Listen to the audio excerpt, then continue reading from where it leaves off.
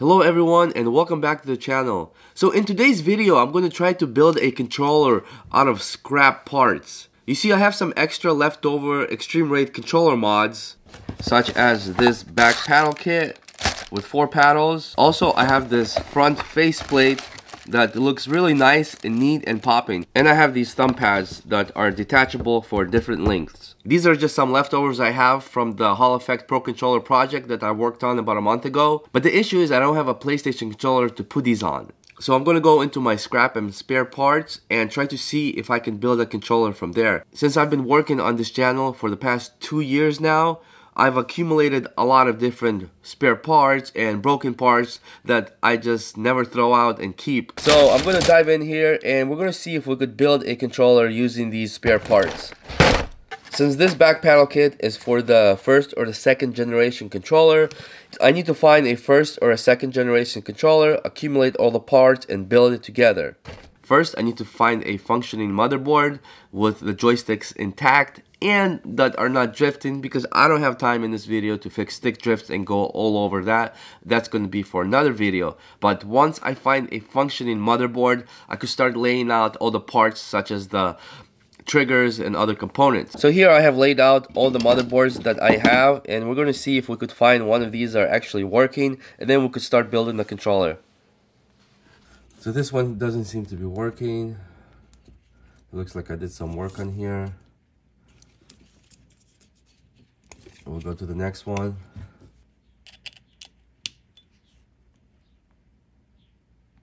So I know some of these boards that I've uh, I've fried or they just ended up not working. So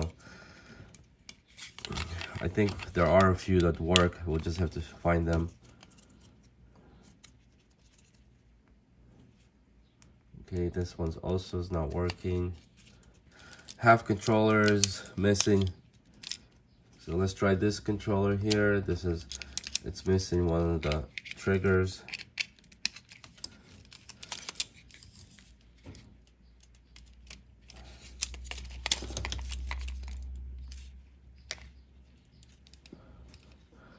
Okay, it looks like this one turned on. And it looks like, it looks like the board is good. It's not showing any drift we may be able to use this. So if we check on the board right here, it says BDM020. So this is the second generation controller. So it looks like this board is good. I think I'm gonna go ahead and use this one. So I just need to find the rest of the parts for a 020. So if we check on the trigger, this is what it looks like. This is a 020. And I have another one here as the same trigger. This one, for example, is a 010. So these triggers or this controller will not work. So I also have this one, which is a 020. If I try to turn this controller on, it doesn't turn on, it just lights up, but then it turns off. So something's wrong with this board, but it's not a problem because these triggers are intact, as you can see. So what I'm gonna do is, I'm gonna take this functioning board that we found, and I'm gonna replace it with this one and we'll try to see if we could use this controller. I'm quite happy it took so fast to find a board that works and a controller that we can swap it to. As you can see, there's a lot of different components here. I didn't want to take everything apart and try to build everything from scratch. I have my soldering iron heating up, so now we're going to go ahead and swap those boards.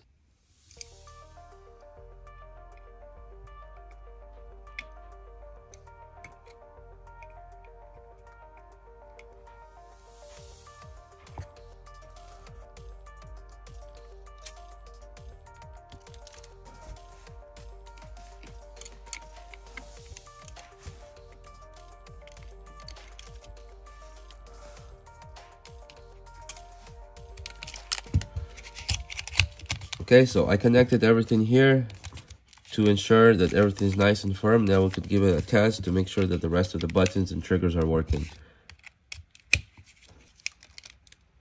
Okay, triggers are good. All those buttons are working nicely.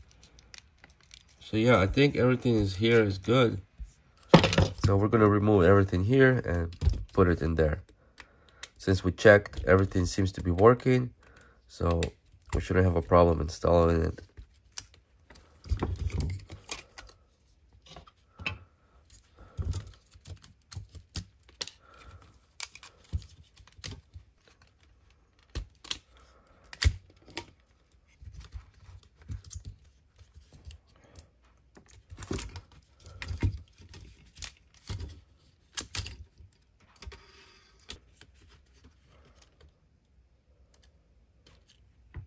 these buttons are okay. I just don't like this one here. Well, okay, we could remove that.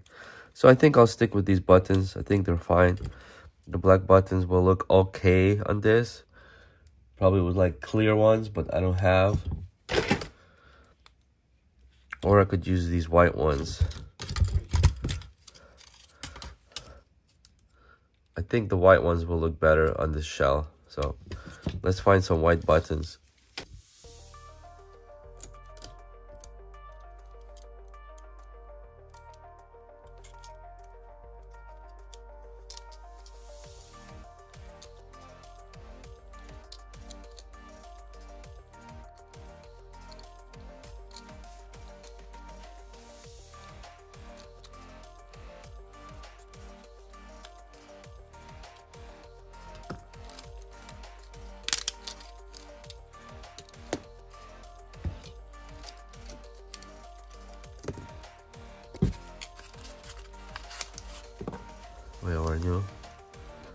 Touchpad?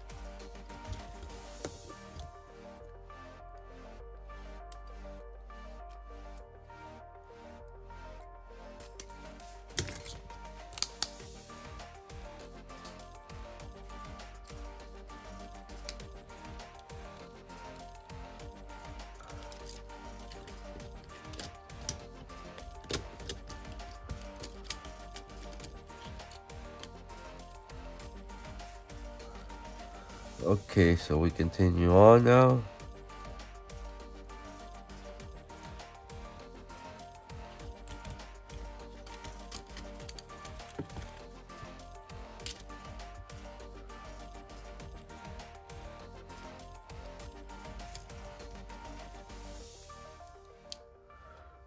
I'm gonna stick those little pins inside these holes.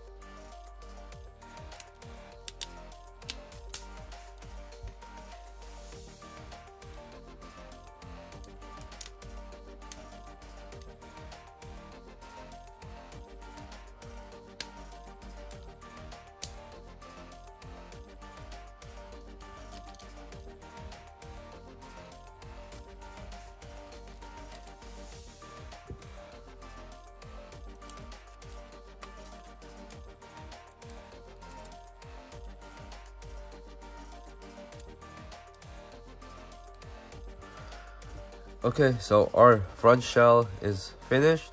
We can now put this back in here.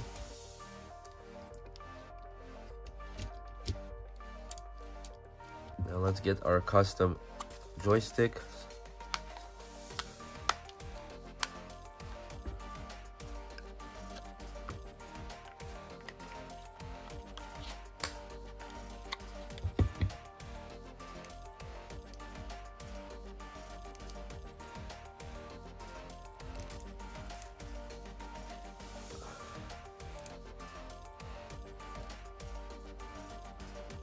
Make sure we have our speaker in there.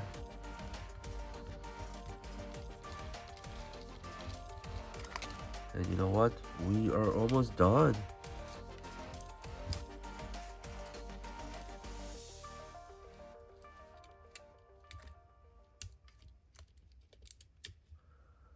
If you if anyone is following along, I highly doubt that you guys have scrap controllers you want to build. But maybe if you do, who knows? This goes in here.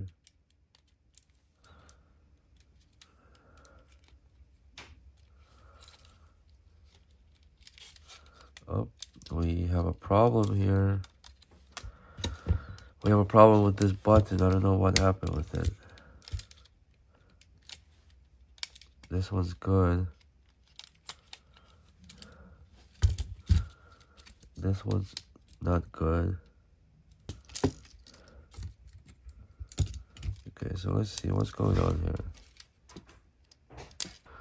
So this is the same side here. I need a different one.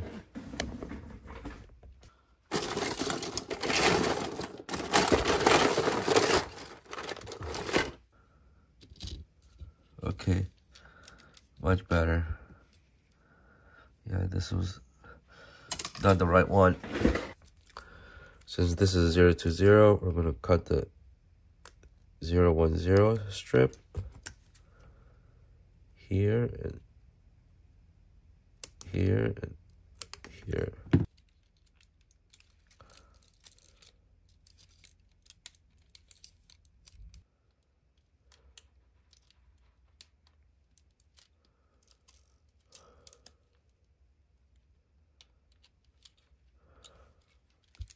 thing out of here. We're gonna need this part. A little silicone.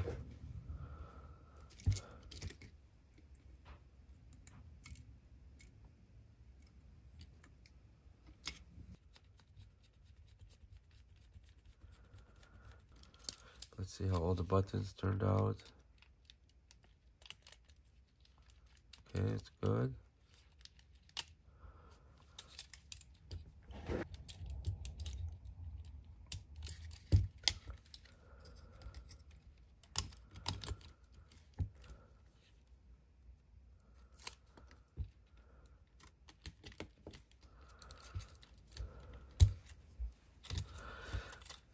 Now I have a, a few tutorials on my channel on how to install this kit in detail. I'm going to leave the links on the top. So if you're wondering why I'm not commentating on all this, I am sick. My nose is stuffy. It's hard for me to breathe and talk. So if you guys do want to see how to install these in full, just check out those videos. It's a full tutorial. I like to put some electric tape on here to bind everything because some of these controllers will be dropped.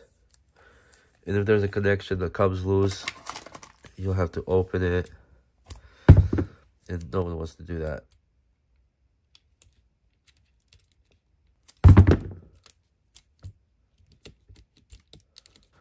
Okay let's just make sure everything is good here before we close it up Everything's secured. Oh, I forgot. This part. Very crucial to make it everything tight.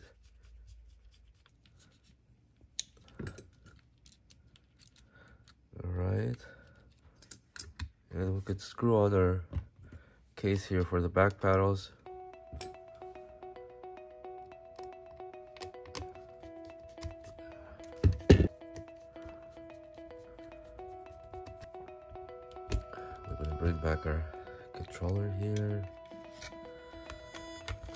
This in like this. And let's put these back panels in here.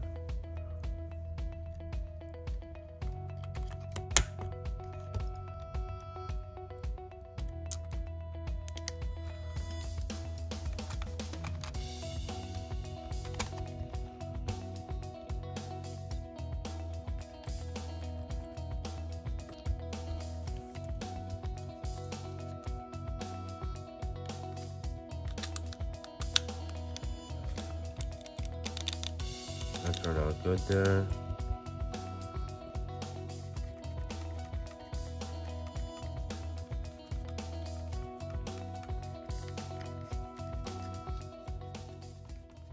So now we just need to find the cover here, the trim, and the R1 and L1.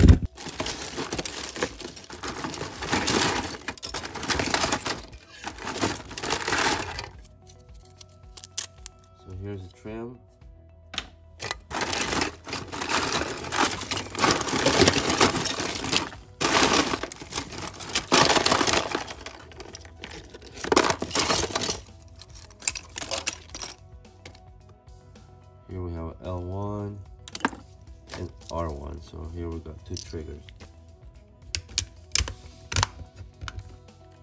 We're gonna put it right here.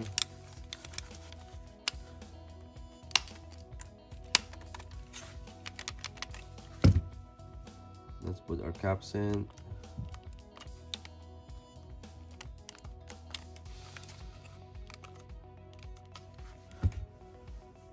So the last part is, let's go and see if we could test it. So the back buttons are all working, D-pad's working, these are working. So it seems everything's working. One thing I noticed after I put the controller in, um, the phone jack was not connected to this motherboard. So I'll have to go back and fix it. And other than that, everything seems to be good. And we have our refurbished controller out of scrap. So after testing this board here, this one seems to be working okay. I don't like how the joysticks are centered. They're not the best, but it, it will do, I think. So I'm going to switch it with this one since this does have the phone jack. And as we can see, this doesn't. So a lot of more work to do, but let's get it done with real quick.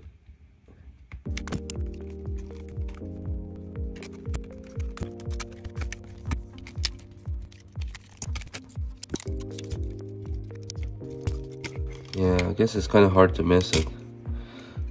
Yeah, it's...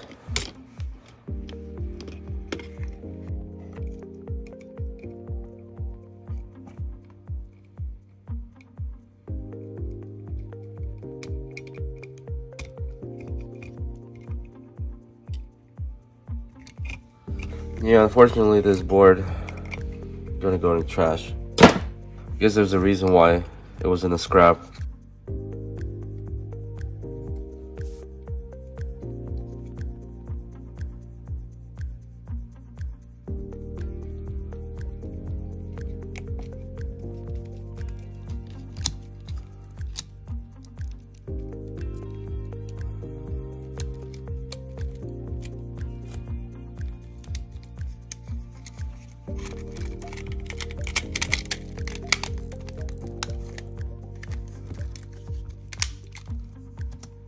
Much better now.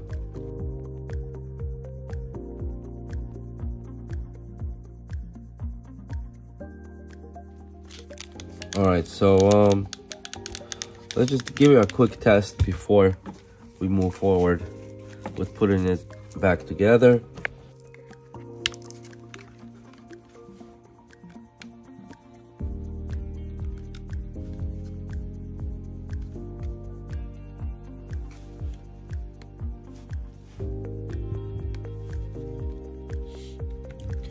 This seems to work. Now let's check out the back buttons. They're all working. So yeah, so I'm very glad that everything worked out here. That's working and that's working.